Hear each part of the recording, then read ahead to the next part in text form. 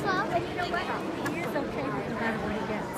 Like the last one we went to when they handed him out ribbons, he just would take them, chop them, and chop he really didn't, wasn't